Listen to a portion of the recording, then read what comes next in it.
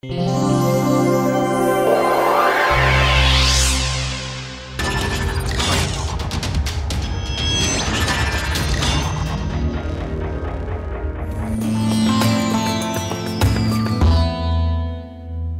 good morning. Uh, in this class, what we'll do is uh, to look at the computational assignment. It's actually problem set three, but I've called it problem set four online. And uh, what I will do is I'll try to work through a couple of the problems. And as I go along, feel free to ask me any doubts that you have about the assignment, and then later on about the course. Until this point of time, we can discuss some of those things. Then I will talk about the new assignment I uploaded online yesterday, the computational one, and uh, explain how you can uh, write a code to simulate that Swift-Hohenberg equation so that we can test some of the things that we have done in the theory. So this will only work if you ask me your doubts, so feel free to ask. And you don't have to worry about the video going on, that we can edit anyways. All right, so the first question was the 1D Swift-Hohenberg problem.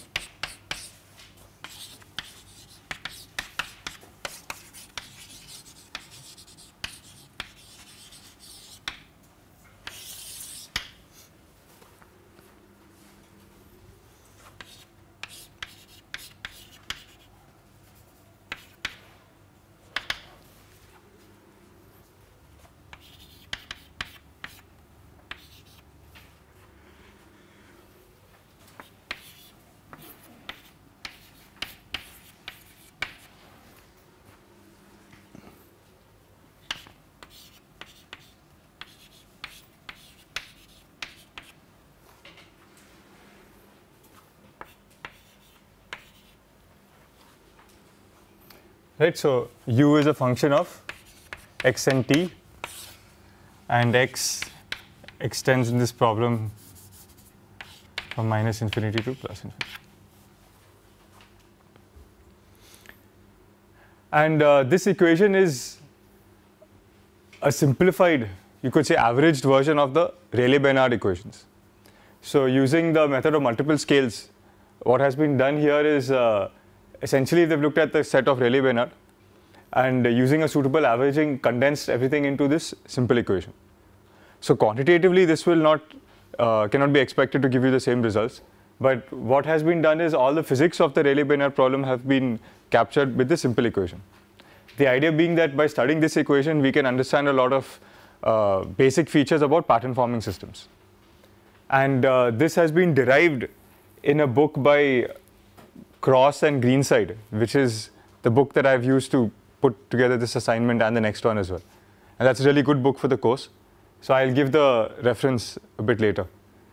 So they derive it from a heuristic perspective and then from a rigorous, rigorous mathematical point of view also.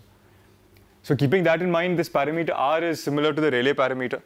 So we want to find the value of r for which the system is unstable. And uh, there's a fourth order term which will come from the coupling of I think temperature and velocity, and then you have a second order term.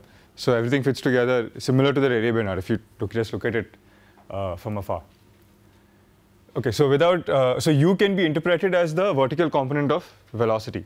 So for example, if you uh, say I mean say you wanted to compare this with some experimental data, then if I have my Rayleigh-Benard cell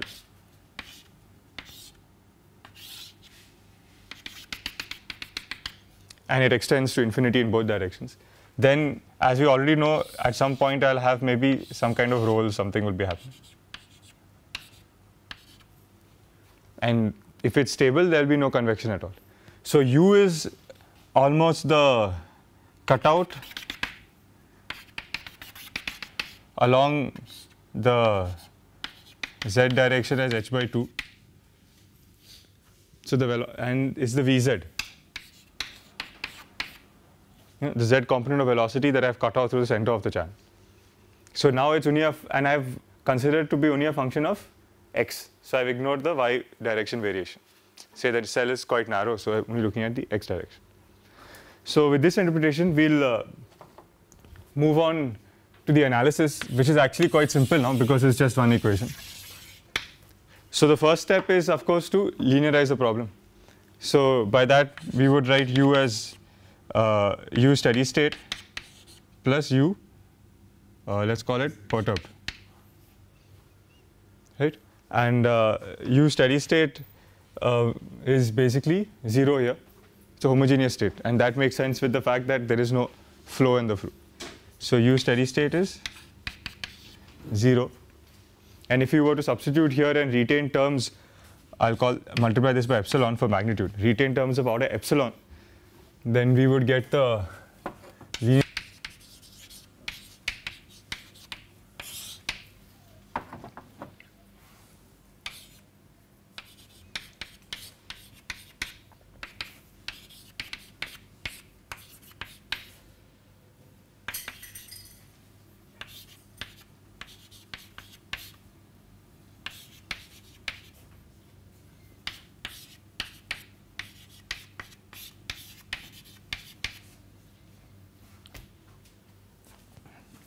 and the u cube, which is the nonlinearity, doesn't survive in the linearization.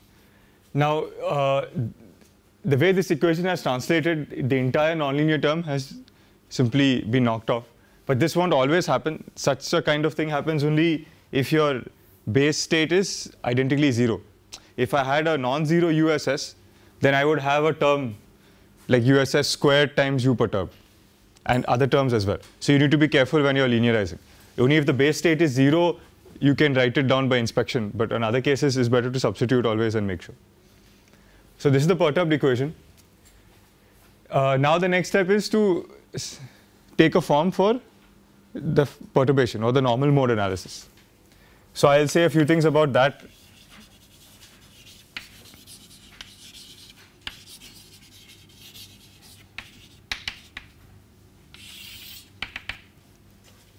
So typically what we've been doing throughout the course is at this stage writing up as uh, some constant a which is the initial condition of the perturbation.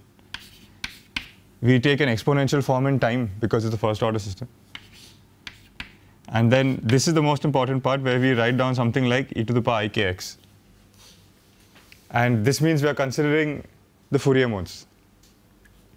Okay, so first of all, uh, I'll just go through it because some people have asked me this question. Uh, so the first thing is that this is a complex factor, but then UP has to be real. So how does it resolve? Well, it resolves with the Euler identity that relates, I mean, complex exponential terms to cos h and sin h.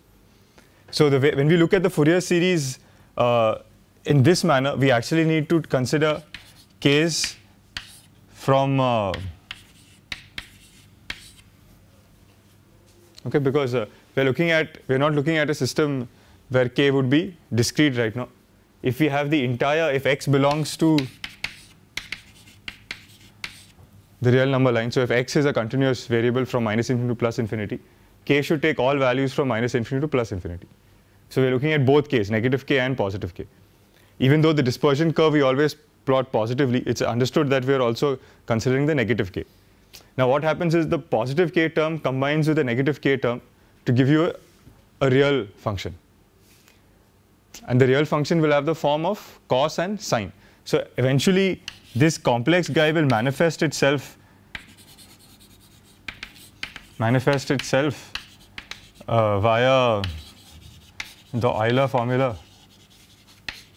as something like, I mean, this will be the dependence finally. You'll get cos kx and or depending on the initial condition sine kx. So if you want to go plot your variation, you can't plot this. You can plot cos kx and sine kx. So this, this coefficient a is also complex.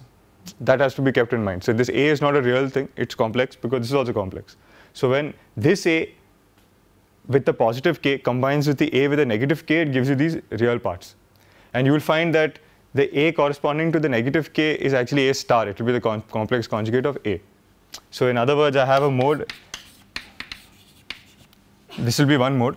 This mode will have to be added with A star,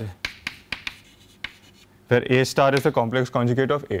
And that will be obvious when you look at the equation because this, when you write, instead of K, if you take minus K, it's basically looking at this same equation and replacing I by minus I, which means that any unknowns will just be the conjugates of what you get in.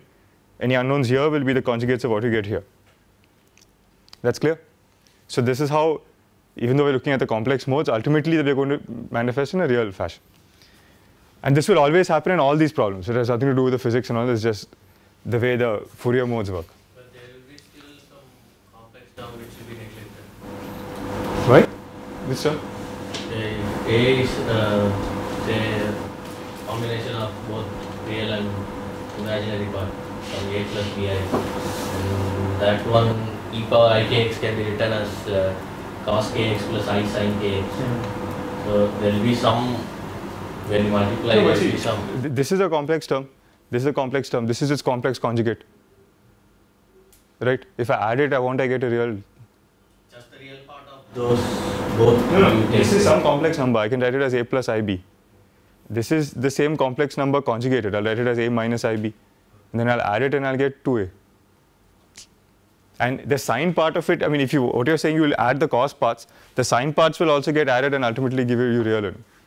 Uh, I mean, if you if you still have a doubt, just go back to some of your old books on the Euler identity and how you solve the equation. Uh,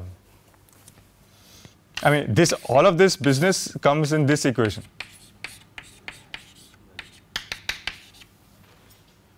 So you see how the solution here is done. You, here you can directly write sine x, cos x, sine y, cos y solutions, or you can proceed with complex exponentials and then see how the two are resolved. So that should clear any doubts here.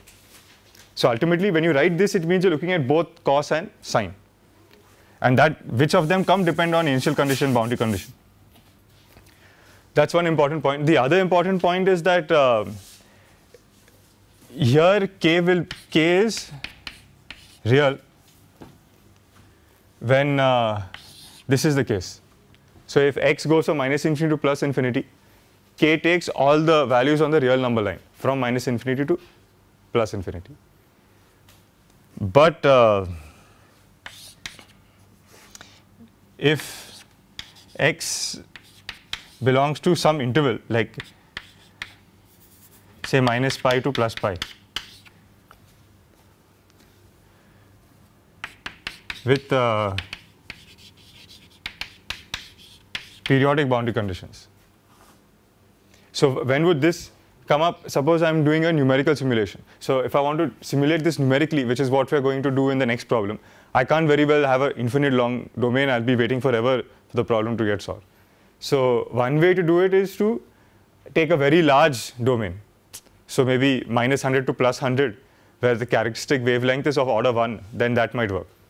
Another way to look at it is I'll take a small domain like minus pi to plus pi and impose periodic boundary conditions to simulate what would happen in the infinite case.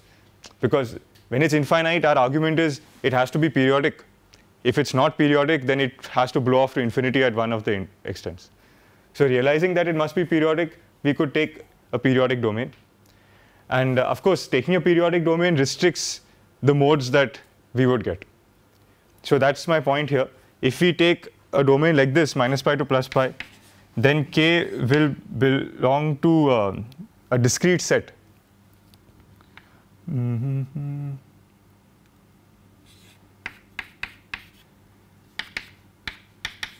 And so on.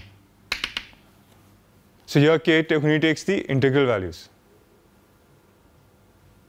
So because minus pi to plus pi, so it will be sine x, sine 2x, sine 3x. So it has the wave has to fit properly in the periodic domain. It can't, you know, fit half of it. Uh, if you had minus L to plus L, then k will belong to uh, to n pi by L. Actually, sorry, I think this uh, you'll have minus n pi by L. Um, what am I doing? Yeah, it's 2 n pi by L. 2n pi by 2l, I guess, because the 2l is the length of the domain here. So again, the n, n takes values and will belong to the integers. So the idea is that if the domain is infinite, the k will vary over all the real numbers. If the domain is finite and periodic, then k takes discrete uh, special values. So this is the same thing that happens in Fourier in, uh, series and Fourier integral. So the Fourier series is how you split up a function on a finite uh, domain. So when you write the Fourier series, you sum over the series. And the series sums over integer values of n. That's what's happening here. When you do Fourier integral, you do the Fourier integral for a function on an infinite domain, then you have to integrate across all the k values because k is not discrete anymore. It's the whole real number line. So with this understanding, we are writing e to the power ikx. So if x is infinite, k takes all real numbers and your dispersion curve is continuous. If x is finite in a finite periodic domain, k takes only discrete values along that dispersion curve. So what it means is if I take a domain minus pi to plus pi, my k can only be 1 and then 2. k cannot be 1.5 because 1.5 that mode will not fit in that minus pi to plus pi. So by controlling the size of the domain, you can exclude modes or include modes in the periodic case. If you take the infinite case, all the modes will come. So that is something that you should remember and thoroughly understand before you try to simulate the problem. Because when you take a periodic domain, you'll actually be restricting the modes that are entering the problem. And then that, should, that can lead to different results unless you're aware of it. Okay, that was one point. The other point is, uh, which someone asked me, is now when we do this, okay, let, us carry on and I'll come back to it. So we have got this form now. So we'll go back and substitute it here and get the equation for the dispersion curve.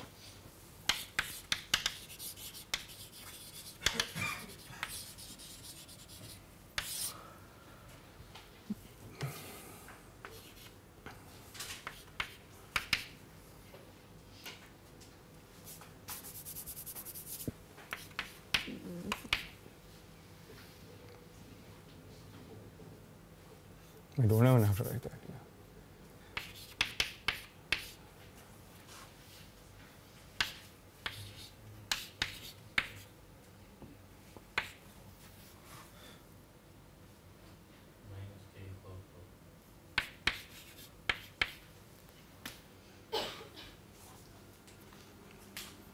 You all agree? Those of you who have done it?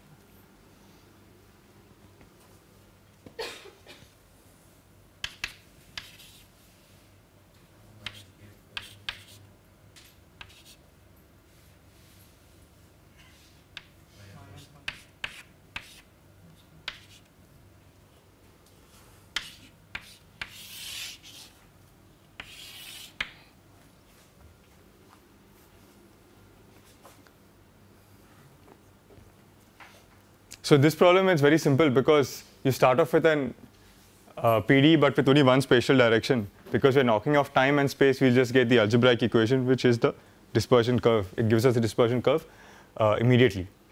Now, at, at this point, uh, some of you will ask me the question as, you know, what happened to the boundary conditions?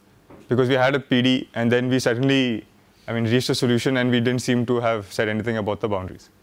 But uh, the fact is that once again, when you're writing e to the power ikx, it implies uh, certain boundary conditions. So what it implies is either that you have minus infinity to plus infinity and the domain is basically going to be periodic. Uh, if your thing was a finite domain, then taking e to the power ikx again forces it to be periodic boundary conditions where uh, this minus L to plus L will control which are which modes come. So the length 2L of the domain controls which of the K modes are allowed. And what are those periodic boundary conditions? Mm -hmm. Let me just, I'll just write. So periodic boundary conditions are simply U at is U at plus L and all its derivatives. So n is, n is 0 means just the values are equal. When n is 1, it means the first derivative. So it's 0, 1, 2, 3. So you equate the values and all the higher derivatives until you get four boundary conditions because I need four boundary conditions in the x direction. That clear? So it is with respect to these boundary conditions, periodic boundary conditions, that we are uh, using the form e to the power ikx when x is on a finite domain, minus L to plus L. And if it's on an infinite domain, then the idea is like we're splitting it up into the Fourier modes.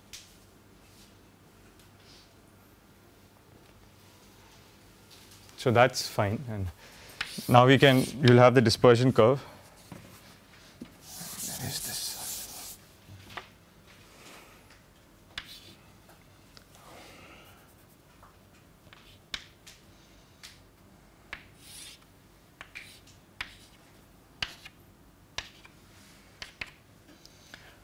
Okay, so in K0, uh, what will happen?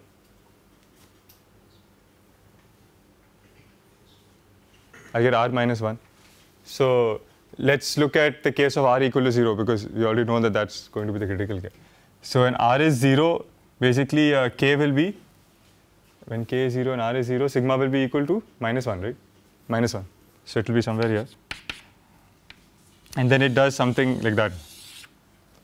So it becomes critical here. At any higher value, it will cross. Right. So basically, you have a region of unstable modes.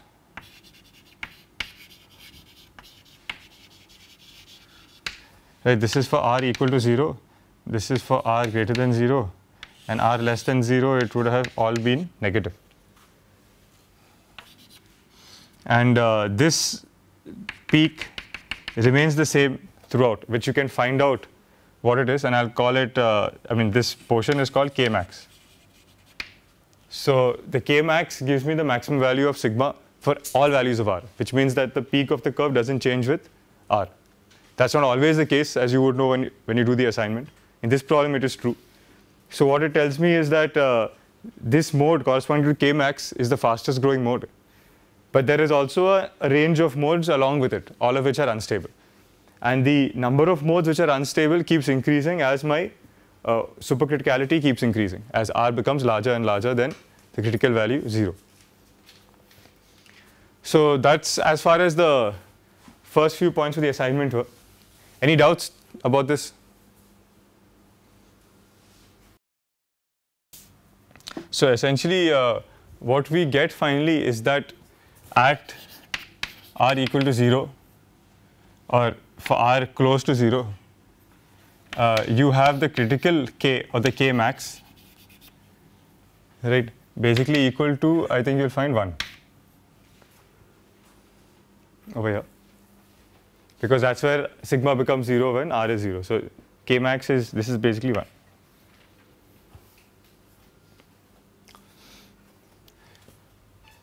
So the idea now is if you try to interpret pattern formation, what will happen is if you have a r just above 0, maybe 0 0.1 or 0 0.5 also, then uh, you will see a mode manifesting which will be the mode k equal to 1 if you do the nonlinear simulation of the equations, you will find that from the base state 0, you will get a new steady state which has the same wavelength as this k equal to 1, which means the solution will look very similar to sine kx with some magnitude, like a sine kx, something like that. The new nonlinear state will be close to r equal to 0. For r much greater than 0, higher nonlinearities come in and then the steady state can change. But close to this onset, the kind of wavelength you will see in the pattern, in this case it's just one dimensional, will be a wavelength of k equal to 1 means uh, lambda will be 2 pi.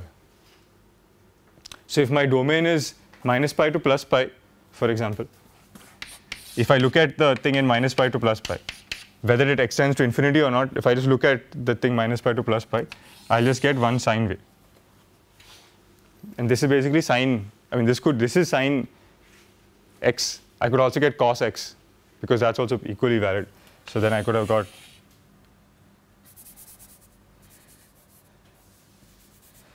uh, I'm not very good at drawing this, but basically got the idea. This sine is 0 at both ends. You would get cos where the derivatives are 0 at both ends is just a 90 degree phase shift. Let's try to do this side cuts.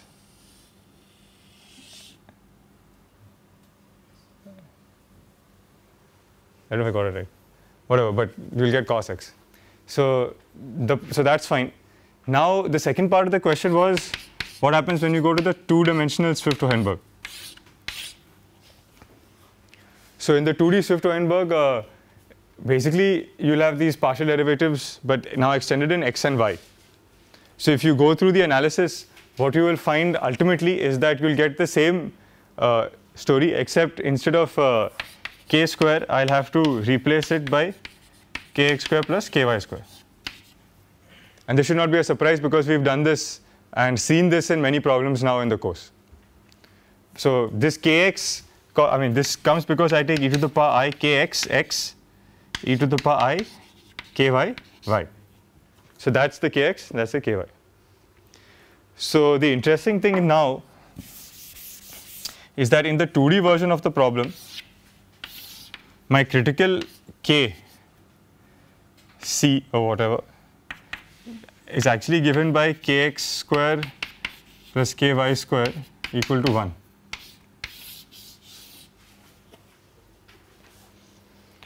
And uh, that's very different from what I had before that just k is equal to 1 in the 1D case. Now I have kx plus ky square equal to 1. This is actually k square equal to 1 and then I took the square root. So the point now is that uh, the first question that I ask is, is the mode therefore that will manifest, is that mode unique? Is the wavelength that you will see uh, unique? Is the kind of pattern that you're going to see unique? In this case it was. I mean, okay, there was, it could be sine x, it could be cos x, but in an infinite domain or a periodic domain, those things don't matter. It's basically the same physical pattern you're seeing. It's just phase shifted. But here, I can actually get an infinity of possible modes, which look differently in, and which look different in space. Mathematically, they have a different representation in kx and ky, apart from the phase shifting. So what does that mean? So you understand why that is. So if I, you tell me a value of kx, say 0.5, I can always find a value of ky to go along with that. So in that sense, I can get uh, what actually happens is in the plane of kx, ky, I have an entire contour where it's maximum. So all these points in the plane of kx, ky are critical. So physically, what does it mean? If I have a part of the domain just a piece of the infinite plane, and I look at uh, some manifestation of the mode. So I do the nonlinear simulation, give it a perturbation uh, close to the onset.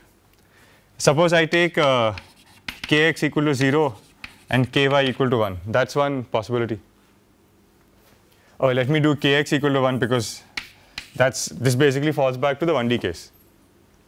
It's almost like you had a 1D problem and I added a y direction and said nothing will change in y. That is this case and that's also equally unstable. So what we'll get here is that uh, there is a periodic variation in the x direction of wavelength 2 pi and in the y direction nothing is changing. So you will just get stripes.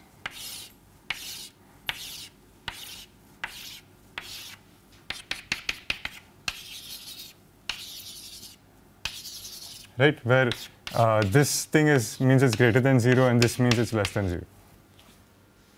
So if you take any cross section, you will just get the sine x or the cos x. And uh, you'll get this kind of stripe pattern. So that's clear how that came. Uh, now if I looked at the opposite case where kx is 0 and ky is 0, then it was just a rotation of this pattern. You'll just have uh,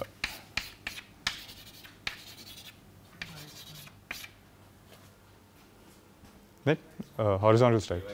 Ah, sorry, ky is 1. You have horizontal stripes. This is also equally valid as that.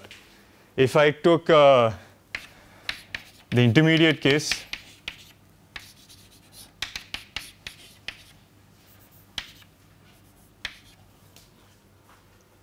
right, which is also equally valid, I would get um,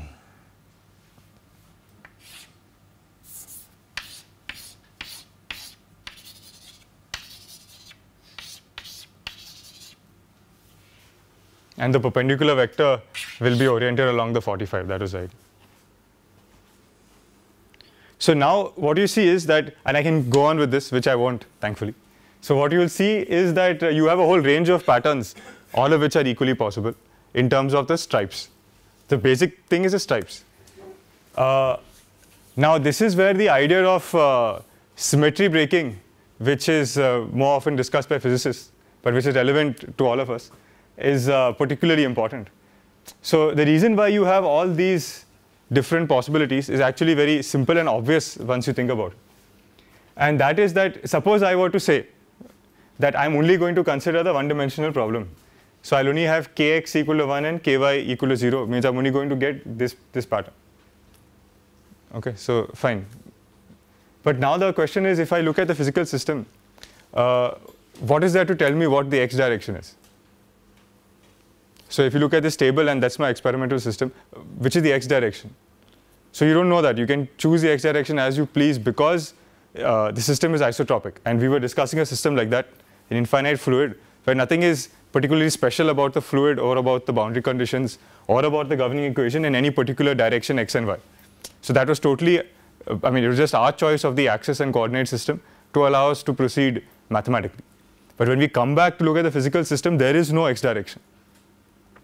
So because of that, uh, you would immediately realize that it has to be that all orientations of this should be equally unstable because I could choose any direction as the x direction.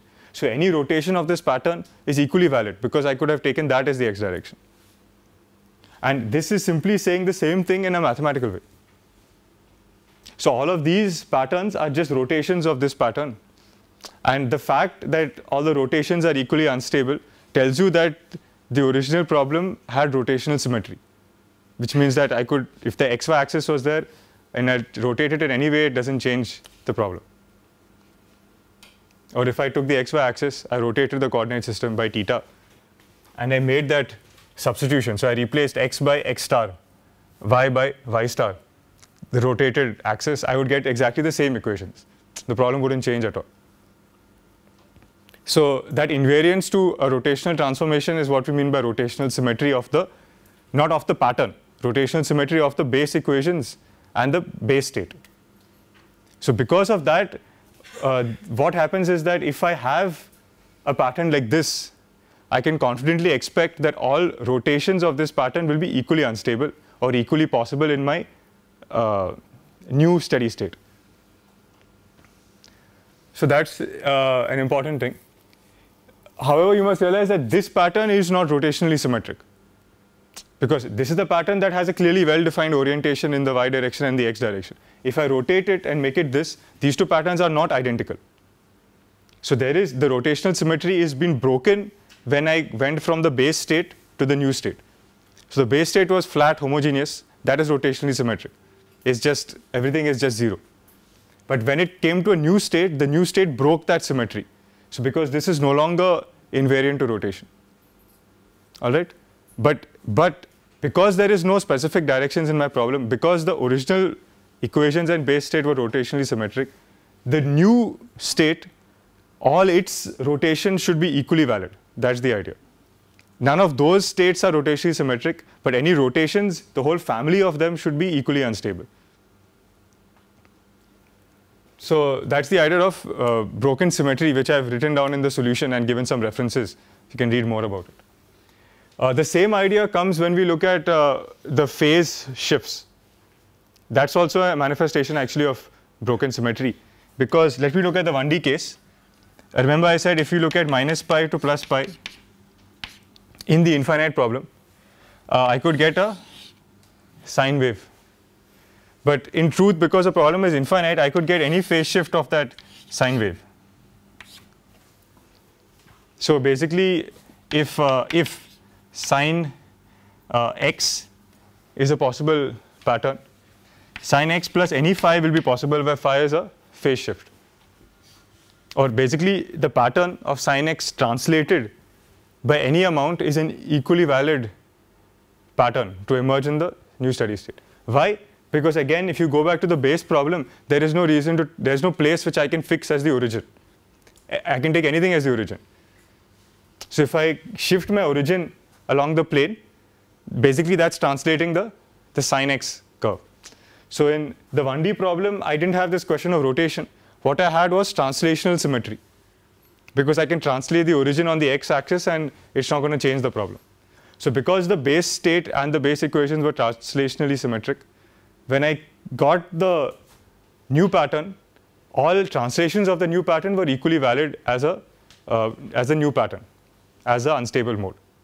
Again, once again, you'll see that this sine mode, which is the unstable mode, is not translationally symmetric. Translations will give you a different pattern. But all those different patterns are equally possible because the base state was translationally invariant, because the origin can be placed anywhere on the x-axis. So there's a very good book, uh, a popular account of these questions in physics, chemistry, biology, crystallography, and so on. It's called fearful symmetry.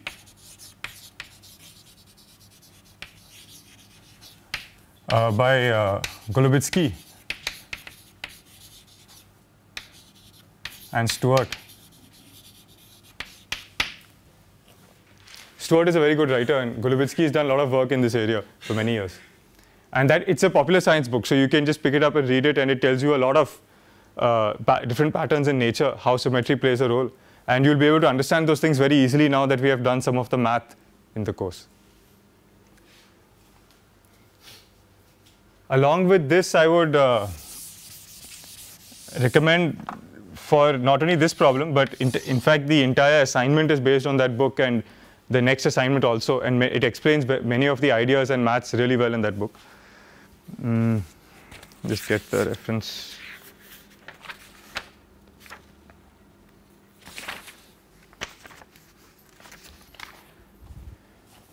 I've given it in the solution so you can look at the full thing. It's uh, pattern formation and dynamics in non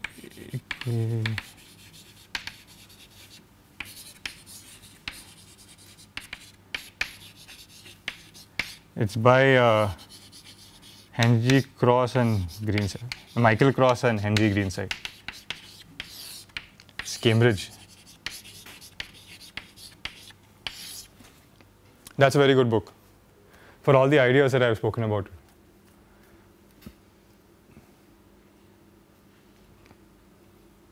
So now when you look at the nonlinear simulations of this problem or an experiment, the idea is you should be ready to ex expect all these different orientations of patterns. Uh, that brings us quickly to the uh, final point I want to make about the patterns is that uh, not only are all orientations of this of these stripe state possible. But even superpositions of different stripes can come up. And there's nothing to stop that. So if I, if I tell you that all the modes on this circle are equally possible, then either any one of them can emerge individually, or maybe three or four of them can, or six of them can superpose together and lead to some pattern. Or they can all grow together, and once they grow initially, the nonlinear terms will come in and modify the solution. It's called nonlinear saturation and give you a new steady state. So that new steady state could bear resemblance to any orientation of this stripe set. It could also be given by some combination of those stripes. So just as an exercise, if you look at these stripes and their 90 degree rotation, what you can do is you can go to MATLAB and plot the contours of cos kxx into cos ky y. Take that function, plot its contours. When you take kx equal to 1, ky equal to 0, you will get these stripes black, white, black, white. Then you plot the other case. Then you plot their combination and see what you get. So and in some portions, the say if I look at this, and this is a, in this portion, everything is positive, right? In uh, this portion, everything will be negative. Here, things will be sort of cancelled out. So you will have almost a square checkerboard kind of pattern emerging simply out of these two combinations. And those types of patterns are known uh, to be seen, like a checkerboard new steady state has known to be seen in uh, these kinds of non-equilibrium systems after the symmetry breaks, after the instability. A similar combination also gives rise to other lattices like the hexagonal lattice or the Rayleigh-Benard cells. So that's how you get, so the hexagon, hexagon seem to be nowhere in the whole problem. Either in the 1D problem of Rayleigh-Benard nor in the 2D problem, you found hexagons. You just had these stripes basically. But it is these combinations of those stripes that lead you to those lattice states that you see in many non-equilibrium systems, that you will get hexagons and different kinds of cells. And the question as to which of these patterns will come, how do I know the hexagons will come, or how do I know that these stripes will come, that depends on very often on the boundary conditions, uh, which are not in this thing right now. It depends on the initial condition also. But very strongly, it also depends on the nonlinear terms in the equation, which we have totally neglected from the linear stability. So in that sense, it is similar to the case where you get, uh, uh, you know, the, the eigenvalue to be zero, and then you can't say anything about stability. You need to go to the nonlinear terms. So to understand how it's going to grow. So in a similar way, here all these modes have zero growth rate, or in fact zero eigenvalue. So now the question you're asking me is which of them will come? Actually, is asking me which of them is going to grow and dominate. So for, to understand that, we need to look at these different modes, the different types, and look at the effect of nonlinear terms on their growth. So that's called weakly nonlinear theory, and that will tell you which of these patterns will come. So those of you who are interested in that can again look at this book, and he has a discussion about those things. And that those are the more, more advanced topics in the area of you know, non-equilibrium dynamics, pattern formation. So now you can go back to your other problems that you have done, the Rayleigh-Taylor problem, the Rayleigh-Jet, Rayleigh-Plateau jet instability, capillary instability, and look at the same thing over there. Look at the base state, identify its symmetries, and then see that in fact your new steady state or the, the modes that you get should all obey this idea of broken symmetry, that all the, the whole family of translations, rotations, and so on should be equally unstable. And then it will not be surprising to you anymore. Do you all have any other doubts in the assignment? I can address that now, and then I want to talk a bit about the, the computation assignment I put up. So if you'll have any, if you don't have any doubts in the assignment, I'll directly do that. Otherwise, if you'll have a doubt, I'll continue with the assignment. Your last problem, uh, when you solve the nonlinear uh, equation numerically, get a graph for u1 and u2 like this, which Okay, decays. uh. Why does it go like that and then decay? It's oscillating, no? Yeah. Huh. Why? I mean, that's the the system is like that. No, the dynamics are oscillatory, so it's a 2D system, so it can oscillate. I mean, I understand, like, in the sense that there's a there's a base steady state. You solve the nonlinear equations, so now the base steady state was actually unstable. Possibly at that case, the eigenvalues were had a complex part. So it was complex positive, and then you had an oscillatory kind of behavior. If it is stable, it will oscillate and die out to zero. If it's unstable, it will oscillate and you know reach a new steady dynamic. Maybe it be a limit cycle, maybe it will be an oscillation. I mean, it will be a steady state. The main idea is that it all of the things should have died out. The, the steady state which we were looking at should have been stable under all conditions because the eigenvalues were minus epsilon and minus 2 epsilon. But that doesn't happen because of non-normal growth. And I've given in the solution, I worked out a bit and given some references where you can read more about it. Uh, any problems with that uh, reaction diffusion problem? So that's clear. In that problem, you need to look at the rate R of C. I have not specified any form. You should continue with the unspecified form. So that means where I've written uh,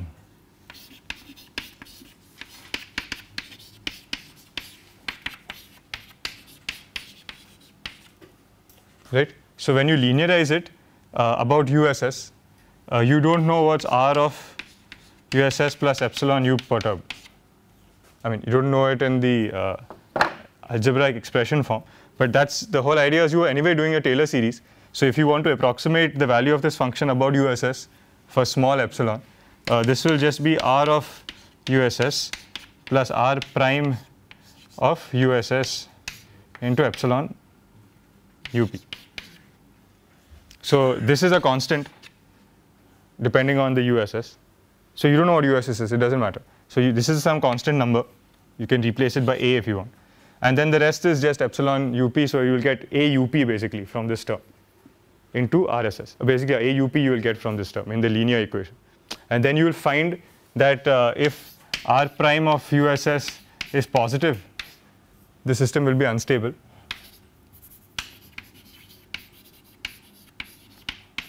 And if R prime were negative, the system would be stable. So diffusion also, if you look at it, diffusion would only be stabilizing. So this value of sigma will be given by simply R prime of USS itself. And the diffusion just stabilizes it because sigma will be R prime of USS minus k square or something. So in this problem, diffusion is stabilizing.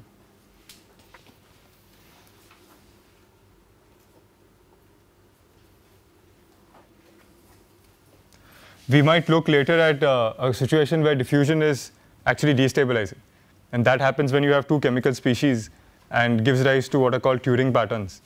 But I won't talk about, the, about them now because I think we'll do it in the course. Uh, if you have any other doubts, I've written the solution set down, so you can go through that and then we can discuss them later. Especially about that classification of the different states. You can just read that part. All right, so now the next thing that we need to do on our is will be on our computers.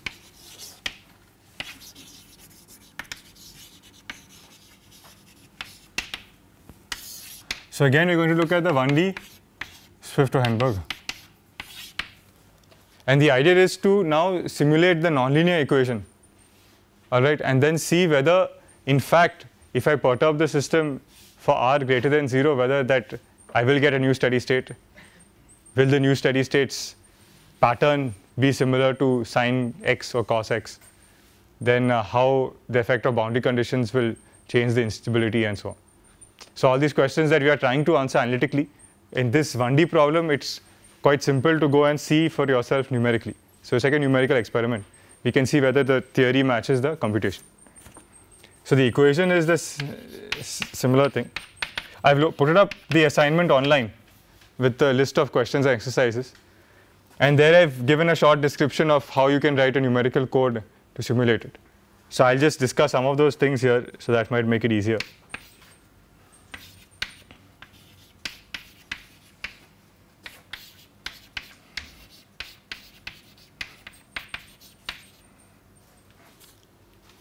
All right. Uh, so that's the governing nonlinear equation. Now there are uh, the next. Now here the important question comes of boundary conditions because I cannot simulate an infinite domain. So what I recommend is you go from minus L to plus L, say, and then you apply uh, periodic boundary conditions. Which are those conditions? They are just uh, un of minus L of plus L. Right, so u, the values of u and all their derivatives will be equal at both ends of the domain. Okay. Now, this is where the important thing about that mathematics business comes in, which I was talking to you about. So, if your domain is this minus L to plus L, you have a length of 2L. So, the possible k's that I would get under this periodic boundary conditions, will be 2 pi by 2L n. Okay, where n will take values of um,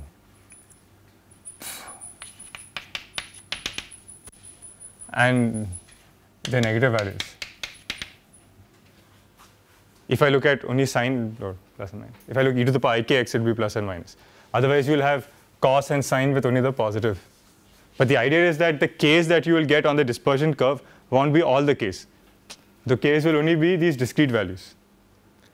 All right. So now because we know from theory that the most unstable mode is k equal to 1. Right. So I will want to allow that to manifest. Otherwise I can't compare the thing with the theory. So therefore if I want uh, to allow the k critical equal to 1 to manifest, it should be one of these possible modes, one of these discrete set. So therefore, I should take L equal to pi, or in general, L equal to n pi. So if I go from minus n pi to plus n pi, any integral multiple pi, then I can be sure that that mode, uh, this kc equal to 1, which came from the linear stability theory, that that mode will be allowed to come in.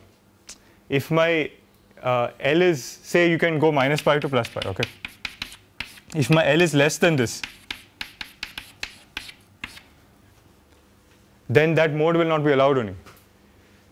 Only k equal to 0.5 or something will, be, will come in. This k equal to 1 will not, it, because that domain will be too small to allow sine x to come in.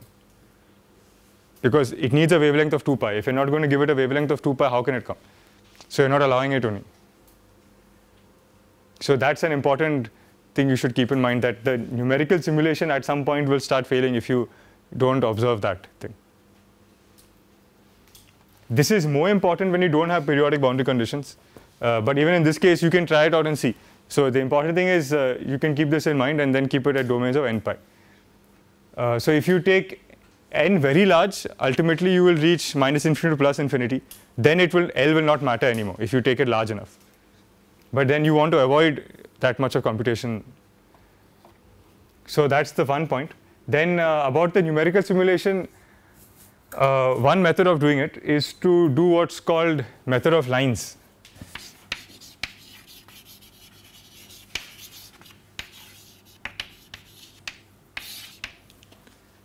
So in method of lines or MOL, the idea is to uh, discretize the spatial variables all right, and leave the partial deriv derivatives in time as total derivatives. And then what you can do is instead of a set of PDEs, you will get a set of ODEs in time. And uh, using MATLAB or Mathematica, you can integrate those ODEs very easily using the inbuilt functions with uh, uh, robust numerical methods. So you don't have to worry about the time stepping. You just need to take care of the spatial dependence. So I'll do a simple example. Suppose I just had a dou u by dou t equal to dou square u by dou x square. Yeah, diffusion equation. Uh, so that's some, like this is a more complex version. Let's just look at this. So I just had this simple diffusion equation. Uh, then what I would do is uh, discretize in space, which means that if I have my x domain, right, I'll break it up into nodes. So node 0, node 1, node 2. This is node n, node n minus 1, n minus 2 Right? normal spatial finite difference discretization.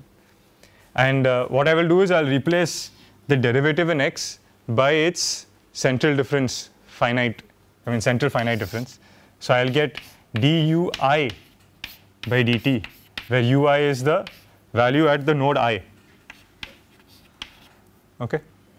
So dui by dt because I've discretized in space, and the se second derivative at i is basically ui plus 1 plus ui minus 1 minus 2 ui upon delta x, where delta x is this difference between 0 and 1.